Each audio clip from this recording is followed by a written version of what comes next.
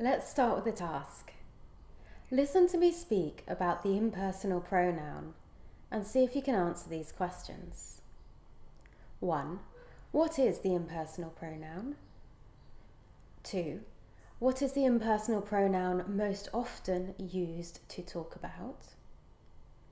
3. Which nouns are used with the impersonal pronoun? And 4. When is the impersonal pronoun used as a dummy subject?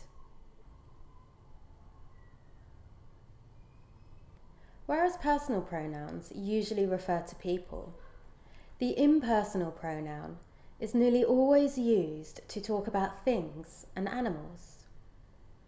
There is only one impersonal pronoun in English it. We use the impersonal pronoun it, with uncountable nouns and singular countable nouns. Plural countable nouns use they. English sentences nearly always need a subject. When there is no subject, it is used in the place of the subject. We call this a dummy subject. This often happens when talking about the weather, the time, and also when giving our opinion on things and events. Instead of saying the time is getting late, we say it's getting late. Sometimes we can use it to talk about ourselves and other people. So, how did you get on with those questions? Number one, the impersonal pronoun is it. Two, the impersonal pronoun, it, is mostly used to talk about things and animals. Three, the impersonal pronoun is used with uncountable nouns and singular countable nouns. And number four, it's used as a dummy subject when talking about things like the weather, the time, and when giving our opinion. So let's have a look at the different uses of it. We can use it in place of a singular countable noun or uncountable nouns when it's not necessary to repeat the noun. Here's an example. I watched a movie last night. It was okay. So in the second sentence, it has been used to mean the movie, which we've previously mentioned. So there's no need to repeat the noun. We don't have to say, I watched a movie last night, the movie was okay. We can just use the impersonal pronoun it. We can use the impersonal pronoun in the place of the subject or the object. Here's an example of it being used in place of the subject. It's busy tonight. So in this sentence, it is the subject and it's referring to the place that the speaker is in. Here's another example. I don't like it. In this sentence, the subject is I, the verb is don't like, and it, the impersonal pronoun, is used in place of the object. So we use it with specific things, animals, or events. Here are some examples. I love this song. We played it at our wedding.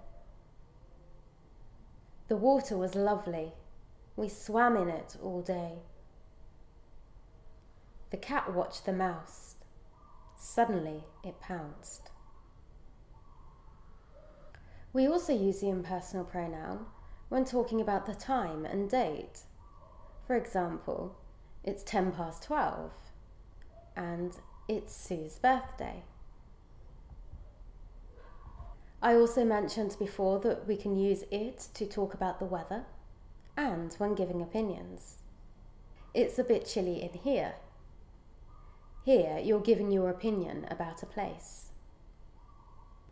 It's so nice to see you and it's great being a teacher. Although it is usually used to talk about things and animals, it can also be used to refer to people. We can use it to refer to other people when we don't know who they are. When we answer the phone, we might say hello and ask, Who is it? Here, it is referring to the person speaking, but we don't yet know who they are. You might also ask, Who's that? Is it Tom? And then, when answering this question, it can be used to refer to ourselves. So, if somebody asks me, Who is it? I would say, It's Fiona. Or I might say, It's me. Your mother might say, It's your mother.